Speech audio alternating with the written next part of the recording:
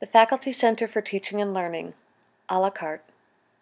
When and how to use a rubric. When I first started teaching, I'm not so sure that I used my time as well as I could have.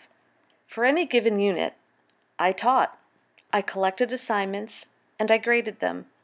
When I was displeased with the quality of work that my students had produced, I needed to deal with their frustration and my frustration and explain what they had misunderstood.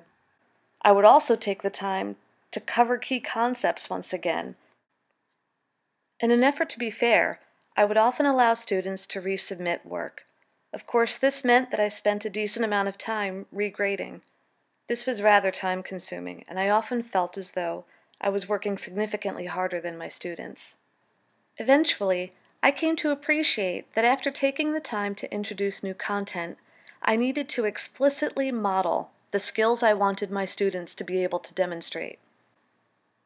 I also came to appreciate the incredible value of building in opportunities for formative assessment so I could check in on students' work as they were completing a project.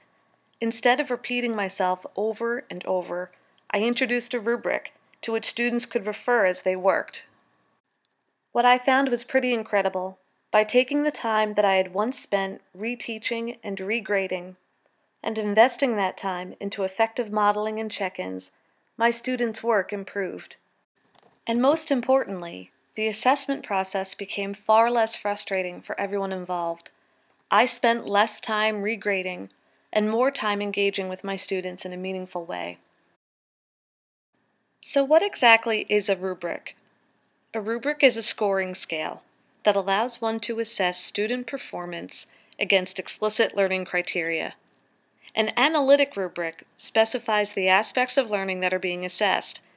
It indicates the levels of mastery of each aspect of learning and offers descriptions of the features of a work product evident at each level of mastery.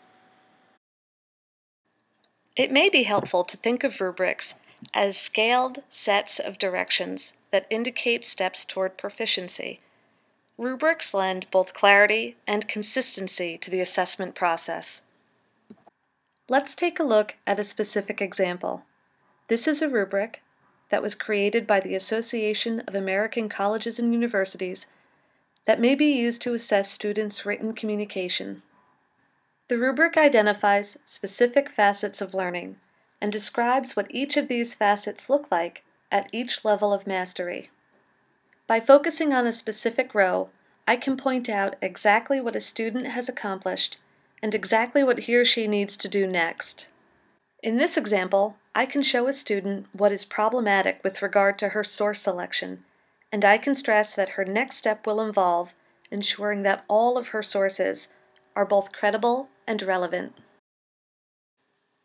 By introducing a rubric at the beginning of an assignment, and by taking the time to review the specific content of the rubric with your class, students can move forward with a clear sense of what they need to work on and how they will be assessed. Once they have been properly introduced, rubrics may be used to structure the following check ins at incremental deadlines, self or peer assessments, and writing or project conferences with you, the professor. Structuring opportunities for students to engage with your explicitly listed criteria allows rubrics to function as the learning tools they are. Thanks very much for sampling this Fictal a la carte module. To receive feedback on the rubrics you currently use or to get support creating new rubrics, please feel free to contact the Faculty Center for Teaching and Learning at fictal at mercy.edu.